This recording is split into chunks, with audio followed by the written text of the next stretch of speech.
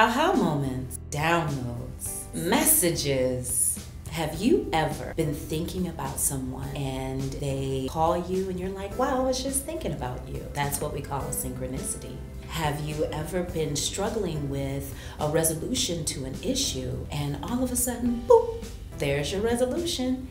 That's what we call an aha moment. Hi, my name is Leah. I am the lead instructor for the Intuitive Guide program. I know you're probably asking yourself, what the heck is Intuitive Guide? It is a 100 hour certificate that you can take here at SWIHA. The first class, you will gain knowledge of self, build that sixth sense, and learn the languaging of that gut instinct so that you can start to trust yourself just a little bit more.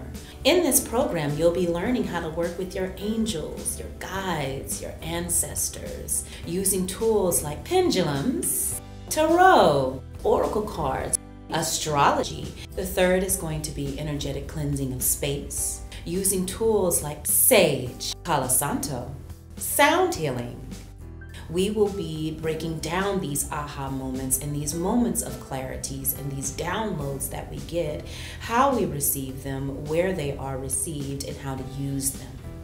And the fourth is going to be all about that business. In the business of Intuitive Guide, you will establish the value of what you have to offer.